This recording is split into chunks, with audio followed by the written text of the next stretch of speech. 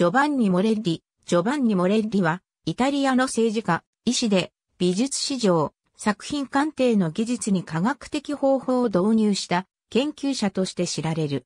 1816年、ベローナに生まれ、ミュンヘンで医学を学ぶ。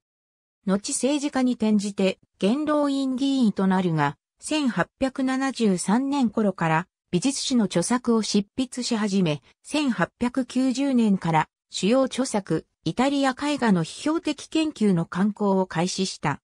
その中で、モレッリは、絵画作品においてはそこに描かれた人物の耳や指先といった小さく目立たない部分にこそ画家の特徴、癖が現れると述べる。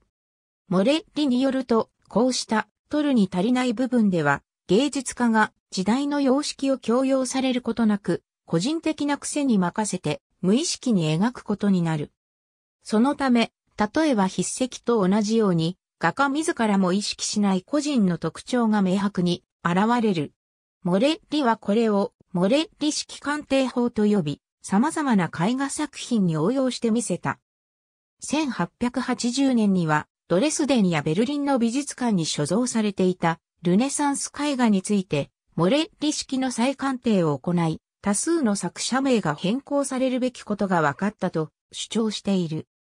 現在ではこの手法の正確さには批判もあるが、モレッリはそれまで直感と経験が重視されていたメキキーエヌ、コニサーの伝統に科学的実証主義を持ち込み、彼に続くバーナード・ベレンソンやマックス・フリートレンダーといった美術視野にも継承されていったため、近代的な美術史学の成立期に重要な役割を果たした。